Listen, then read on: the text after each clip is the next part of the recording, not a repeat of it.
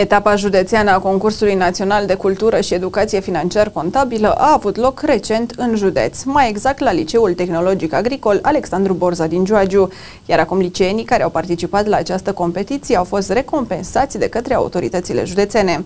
13 elevi din clasa 11 de la liceele de specialitate din județul Hunedoara au participat la această etapă a concursului. Cei mai meritoși elevi au primit diplome, dar și bani pentru a fi și mai motivați la viitoarele competiții la care vor participa. Consiliul Județean Hunedoara continuă să susțină elevii meritoși din județ. Iată, astăzi au uh, fost premiați toți elevii participanți la concursul de cultură și educație financiar contabilă. A avut loc etapa județeană.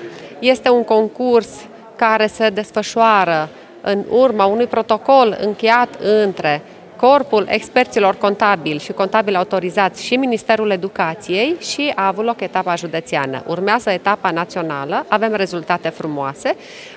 13 uh, elevi din clasa 11 de la uh, liceele de specialitate din județ au participat la etapa județeană și ne bucurăm, iată, de susținerea Consiliului Județean Hunedoara și de, bineînțeles, aportul pe care l-a avut uh, CECAR filiala Hunedoara. Ne bucură că avem premianți din partea noastră, ne bucură că participă din județ foarte mulți copii, eh, elevi eh, de la licee la asemenea olimpiade și ne-am luat angajamentul, aș putea spune, îl consider ca și un angajament, că orice concurs sau olimpiadă care se țin la noi în județ trebuie să primim elevii noștri.